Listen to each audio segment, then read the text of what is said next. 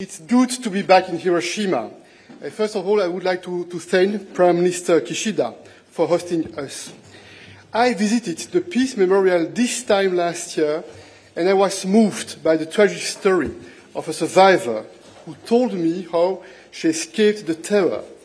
It's no coincidence we are here today in Hiroshima, where an immense tragedy took place almost 80 years ago. It reminds us what we as G7 are defending and why we are defending it. Peace and freedom, because it's what all human beings want most. We are a union of values and we will defend these values. And that's why we are standing with the people of Ukraine. The Kremlin continues to fan the flames of war across Ukraine. In the EU, we are working hard to get Ukraine what they need, more weapons, more ammunition, and faster. This will be crucial to its counteroffensive.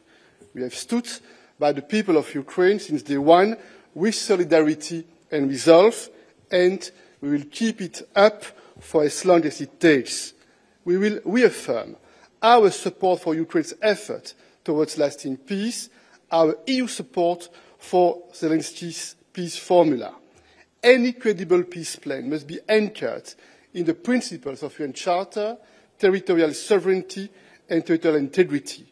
One thing is clear, it's only up to Ukraine to decide when to consider negotiations. Here in Hiroshima, we again clearly state that Russia's rhetoric is unacceptable and irresponsible, especially Russia's nuclear rhetoric. And we call out Russia's reckless actions around the Zaporizhzhia nuclear power plant, which deliberately risked the safety of an entire continent. The EU also gives great importance to nuclear disarmament, non-proliferation and arms control. We reaffirm here in Hiroshima our full support for the treaty on the non-proliferation of nuclear weapons. We continue to back Ukraine with strong military, political, humanitarian and financial support. The EU and its member states have already provided over 70 billion euros in assistance to Ukraine. The EU has also taken sweeping action to curb Russia's military action. We are now focused on shutting the door on loopholes and, continue to, and continuing to cut Russia off from critical supplies. We will restrict trade in Russian diamonds. Russian diamonds are not forever. And we lay out openly and frankly why these sanctions are necessary and justified. Russian propaganda is built on lies and conspiracy. We are fighting back with the facts and figures the EU is also building strong partnerships around the world. Only last year, we spent 90 billion euros on global development assistance, and this makes the EU this makes the EU and its member states by far the largest provider of development support. We are also engaging with partners to forge mutually beneficial partnerships many developing countries have moved into acute indebtedness. Multilateral development banks have a key role to play, not only in the classical areas of development and poverty relief, it's essential that they can mobilize private capital, in particular support of a wider range of countries in tackling both the climate and digital transition. The G20 presidency's work to reform these multilateral development banks is extremely important. They need to do better and they need to do more. Ladies and gentlemen, trade, open trade, is the European DNA. That's why we are working to build an open, rules-based multilateral trading system. And it's time to back the reforms of Director General Ngozi and make the WTO fit for purpose and able to resolve trade disputes. Our goal must be to ensure a global level playing field. Trade policy plays a key role in advancing our partners' green and digital transitions, human rights and labour conditions. Ladies and gentlemen, a stable and constructive relation with China is in our mutual interest. The EU is firm on our values. We will keep voicing our concerns on human rights, whether it is in Hong Kong, in Xinjiang, or in Tibet. We will not tolerate interferences in our countries that would undermine our democratic societies, and we will promote our interests. We have an interest in stable economic relations. We don't want to decouple, but the risk to reduce over-dependencies and diversify, to address unfair practices. We balance our trade relationship is what we must do and create a true level playing field for our companies and for our workers. We also need to engage together with China on global challenges, climate change, conservation of natural resources, biodiversity, debt sustainability. Given, given its role in the international community and the size of its economy, China has a special responsibility in the world.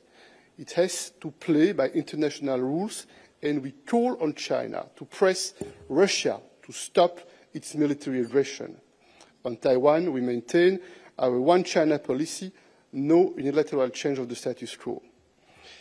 Finally, we need to build a global system where power is shared more fairly, and we need to do it together. Reform of the United Nations and the World Trade Organization would be steps in the right direction. And we also have a common responsibility to ensure that the multilateral system can deliver.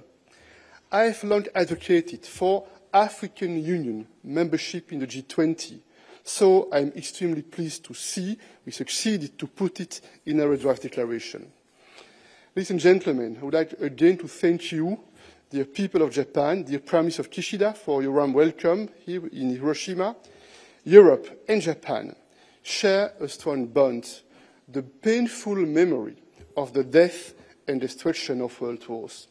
And that's why we are so determined to make sure this never happens again, and that's why the EU and G7 will defend the fundamental principles of the UN Charter for greater peace and for greater prosperity. I thank you.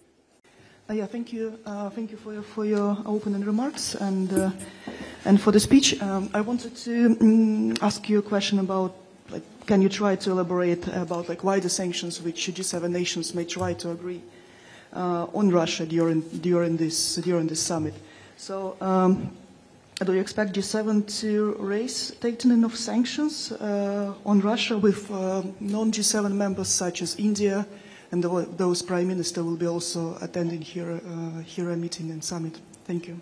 Yeah, you, you, know that you have decided to put in place a, a, very tough regime of sanctions in order to be painful against Russia and to, uh, and to stop the Russia's war machine. And uh, since day one, we have worked very closely with our partners, especially uh, in the G7 meeting. And it is good that we'll have the occasion also to meet uh, other countries uh, which are not members of the G7, and we have the occasion to talk again with them in order to, to explain what are the reasons. And the reasons, this is the war launched by Russia against Ukraine. And that's why it is so uh, important to uh, explain and to convince if we want to defend the multilateral rules-based order, we need to be serious. We, need to be firm. We need to be, to be clear. This is uh, not possible to make a compromise on such an important topic. Uh, and for instance, you, you, you know that uh, we are also extremely committed on the EU side in order to, to support the effort especially in the Global South, for more sustainable development. We are by far, I would like to repeat it, the first sponsor in terms of uh, uh, development uh, aid, development assistance to that part of the, of the world. And, and I think that uh, it's very important to have an open, a frank debate on that question. It will not be the first time uh, since the start of this full-scale invasion against Ukraine. Many times we had the occasion to engage in a bilateral way or in multilateral fora with those countries countries and to try to convince them that it's very important to be very tough, to be very firm, and to make clear that uh, what Russia is doing is not acceptable because it is a clear and a blatant violation of uh, the multilateral order. Thank you. Ansgar, yes, from DPA. Ansgar, the German press agency, DPA. Um, President Michel, uh, can you confirm that the Biden administration has signaled to European allies allies uh, that the United States would allow them to export um, F-16 fighter jets to Ukraine. And a second question on sanctions and diamonds. Um, has the Belgian government uh, signaled to you that it would agree on an import ban on Russian diamonds? Thank you. Well, there are two, two elements. First element, the military support for, for Ukraine, and on a regular basis, this is not a secret for you. Uh, we, we, we are in close coordination with our partners, with our allies, in order to have a common approach in terms of military support for Ukraine. Today, we'll have the occasion uh, to discuss this topic uh, together with Joe Biden and the other members of uh, uh, the, G, the G20, and we will assess uh, what's the, the, the level of the additional support that will be needed. It's very clear that Ukraine needs more, more military equipment that's why on the EU side, we have decided to put in place uh, a system in order to, to, to, increase the level of production of ammunition, and we need to speed up our efforts. And in terms of fighter jets, you have seen probably uh, that some countries have announced a coalition in order to start training uh, for, for pilots. We'll discuss the topic uh, today uh, with, uh, with the United States and with the, other, with the other partners. In terms of sanctions in the field of diamonds, I don't intend to speak on behalf uh, of the, the, the, Belgian government, you can imagine. But there are two debates. On the one hand, we have the debate here in the, G, in the G7, and you know that in parallel, there is a, a debate for an 11th package of sanctions uh, on, the, on the EU side, and we will make sure that there is a, a coherent approach, the G7 on the one hand, and uh, what you are doing uh, at the EU level on, on, the other hand. Catherine from, uh, from ARD. Yes, you had a question. Oh, uh, said. um, so it's uh, a little bit the same uh, question on diamonds. How sure is it that an embargo about diamonds exports will be part of the final uh, communique, especially from Brazil, for example? Yeah, but uh, here we, we start, we'll start the, the, the meetings today, uh, and uh, we have uh, uh, prepared the, the statement, but only at the end of the meeting. We, you will know, and we will know uh, what will be the final version of the, of, of the statement. But I'm confident that the, the, double approach is to, to, to restrict trade on Russian diamonds. This is what we are working on together with the, with the partners. And again, this is good on all those topics not only the field of diamonds, but also on the other topics, that we will meet uh, other important countries uh, uh, in order to have a very good, I hope, dialogue with them, in order to, to explain why we are absolutely convinced it's needed to target Russia with our sanctions, because what Russia is doing is extremely dangerous, not only for the security on the European continent, it's dangerous for the world, because it's a dangerous precedent. It gives the impression that it's possible for, for a big country to invade uh, a neighbor without any consequence. This is not acceptable. And that's why uh, I'm absolutely convinced that uh, we were right to take Russia by surprise, because we were and we have been extremely united on the EU side, but also together with our like-minded partners across the world. Vincent from RFI. Bonjour. Bonjour Monsieur le Président. Euh, vous dites qu'il y a débat ici au G7 sur les diamants, y compris aussi dans l'Union européenne. Est-ce que vous pensez qu'il est possible de parvenir à un consensus sur ce thème précis dans l'Union sur les diamants russes? I, I have the impression it is very important to work on the traceability, and it's what we, we, we need to do, you know, to put, in, to put a, a system in place uh, that will be, that will be uh, efficient, because we all know that uh, the challenge is to make sure with our sanctions that uh, we are painful against Russia, not against ourselves. This is uh, systematically uh, the same the principle that we, are, we, we, have tried to put in place, being painful against Russia in, in order to curb, to curb Russia's war machine, not to be painful uh, on, on ourselves. And that's why it requires a certain level of expertise. And that's why I'm telling you that on the one hand, there is this debate at the level of the G7. And I have the impression this debate will have an influence on how we are acting on the EU side. And you remember that uh, this is uh, the, the 11th package of sanctions that we are currently discussing on the EU side. And we, you remember that for all uh, the 10 previous packages, systematically, we have coordinated with our partners, with our like-minded partners. And this is the right approach in order to make sure that you have a current uh, approach uh, in terms of sanctions against Russia. Thank you. Daniel Brössler, Süddeutsche Zeitung. I'd like to ask you about uh, European unity on uh, the question of how to move on with the sanctions. If I understand the German Chancellor correctly, he's talking about closing loopholes now, now but not uh, moving forward to a new level of sanctions. Uh, so would you say there is a controversial debate among Europeans how to move on now? This is a very interesting question because uh, for each package of sanctions, since package number one, uh, we faced exactly uh, the same questions. Uh, systematically, there were doubts on the possibility to stick together and to be united. And you can observe together with me that, uh, that uh, the, the, the, the, recent 14 or 15 months, we succeeded systematically to stick together and to agree on 10 packages of sanctions. And it's very clear that each package is more difficult than the previous one because each package, uh, each additional package, uh, I mean, uh, requires more political efforts to, to, to, to, make a decision. And it is absolutely logical. Then the more we are taking and making sanctions against Russia, the more it is important in parallel to, to work on the loopholes and to, and to try to avoid uh, uh, the circumvention of sanctions. That's why we've also decided to appoint a representative uh, dedicated to the, this task, to engage uh, with third countries in order to have a, a transparent deal with, with, third countries and to make sure that we maximize the effect and the impact of our, our sanctions. But I can confirm to you that in the European Council, the, the global approach is indeed to focus much more on uh, the fight against uh, the loopholes and the circumventions of sanctions. Marie-Lise, you had a question as well. Uh, Magdalena is going to give you a microphone. Hello, Mr. President. Saleh Reza Mohebi from Iran International TV.